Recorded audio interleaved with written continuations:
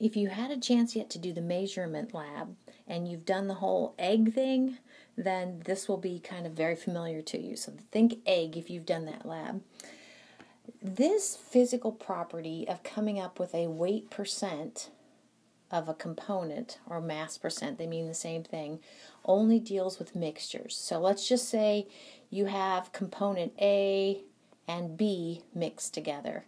You might want to come up with the mass percent of a component, mass percent of A, mass percent of B. Of course, hopefully you imagine that the mass percents will add up to be equal to 100% if you add up all of the mass percents of all of the components. So that's kind of how that all goes.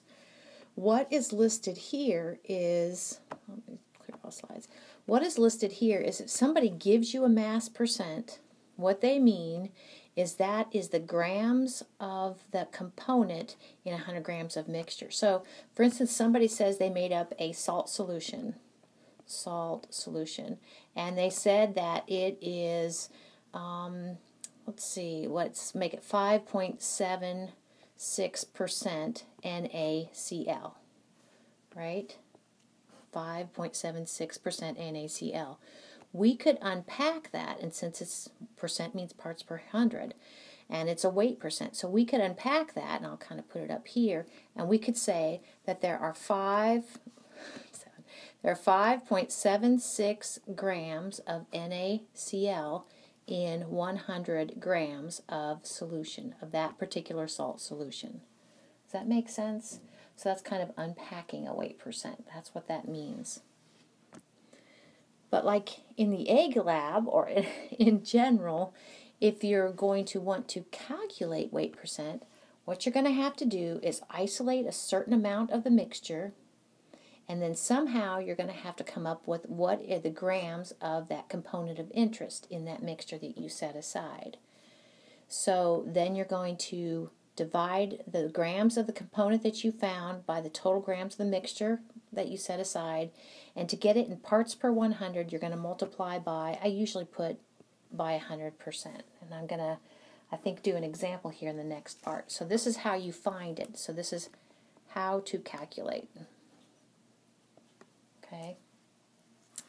Now, along the line, along the way, there is a related term to the same solution called mass fraction, mass fraction of the component. And it's going to look very similar to um, weight percent, okay, but weight fraction or mass fraction is just one step kind of short of that, if you ask me. Notice it says that by definition it's the ratio of grams of a component per one gram of mixture. So it looks like this. So mass fraction, and I wish I made I added this to my slide, is equal to grams of component A I'll just put grams of A if that works for you, divided by 1 gram of mixture.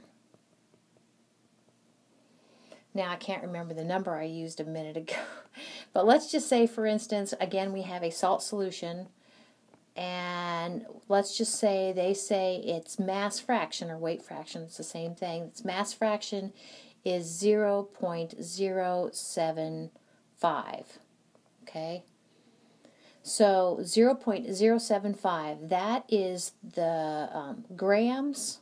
What that means, I'll just put it up here if that works for you. What it means is there's 0.075 grams of NaCl in 1 gram of solution. That's what that means. Now, down here, I want to add one more thing to the slide. I know it's new, but I'm going to say, how do you calculate? How do you calculate mass fraction? if you need to do so. Well, all you got to do is, and again, you'll see where it kind of just falls short of being mass percent. All you got to do is take, if it's the mass um, fraction of A, we need to set aside a certain amount, and we're going to find the mass of the mixture and we're somehow we need to tease out the mass of component A in that particular mixture we set aside, and you're done. Okay, you just divide out those grams. And you're done. You have the mass fraction.